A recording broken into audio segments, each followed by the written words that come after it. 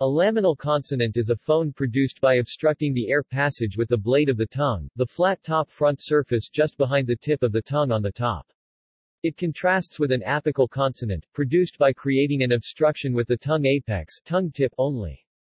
The distinction applies only to coronal consonants, which use the front of the tongue. Compared to apical Although most languages do not contrast laminal and apical sounds, the distinction is found in a number of languages. The contrast is very common in Australian languages, which usually have no fricatives. Some languages in South Asia contrast apical and laminal stops. In Hindustani, the apical stops are normally called retroflex, but are really alveolar or postalveolar. Malayalam has a three-way distinction between laminal dental, apical alveolar and true subapical retroflex in nasal and voiceless oral stops. Basque differentiates between laminal and apical sibilants in the alveolar region. Mandarin Chinese, Serbo-Croatian, and Polish make such a distinction with postalveolar consonants. Some native languages of California have the distinction in both stops and fricatives. Dahalo makes the distinction only in its stops, because laminal consonants use the flat of the tongue, they cover a broader area of contact than apical consonants. Laminal consonants in some languages have been recorded with a broad occlusion closure that covers all the front of the mouth from the hard palate to the teeth, which makes it difficult to compare the two. Alveolar laminals and apicals are two different articulations. A very common laminal articulation is sometimes called denti-alveolar. It spans the alveolar ridge to the teeth but is a little farther forward than other alveolar laminal consonants, which cover more of the alveolar ridge and might be considered postalveolar. That occurs in French. Compared to alveolar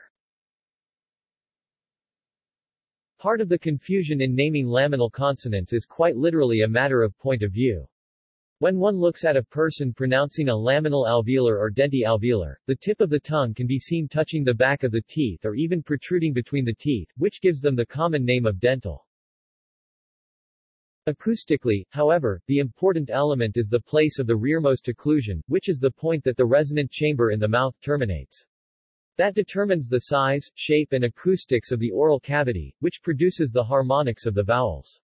Thus, French coronals are alveolar and differ from English alveolars primarily in being laminal rather than apical. In French, the tongue is flatter. There are true laminal dentals in some languages with no alveolar contact, such as in Hindustani, which are different from French consonants.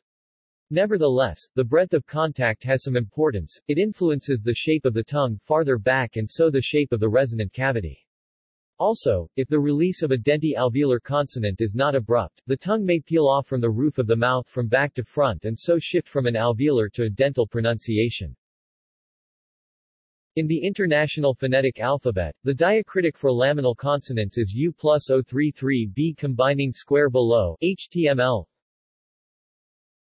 See also Apical consonant Subapical consonant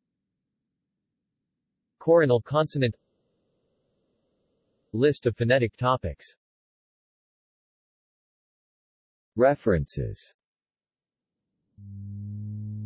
Ladefoged, Peter, Maddieson, Ian 1996. The Sounds of the World's Languages. Oxford, Blackwell. ISBN 0-631-19814-8.